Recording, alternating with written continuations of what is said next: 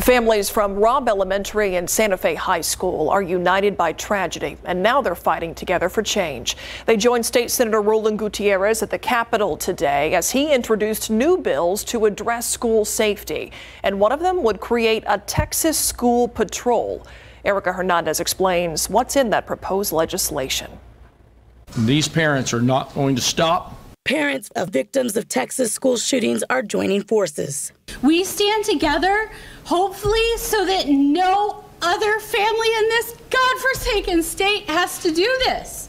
They joined State Senator Roland Gutierrez today, who proposed bills to create more mass shooting response training, better communication systems among law enforcement, replacing Confederate monuments with memorials to mass shooting victims, as well as the creation of a Texas school patrol.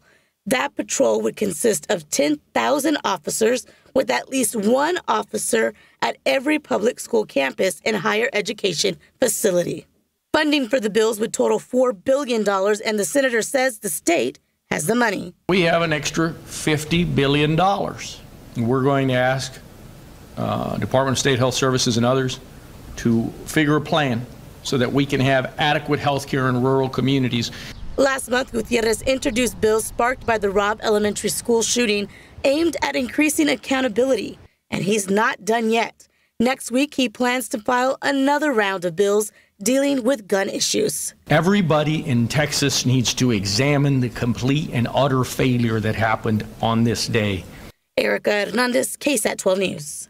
Keep up to date with all of San Antonio's top news, weather, and so much more by clicking the like and subscribe buttons below. And once again, thanks for watching KSAT.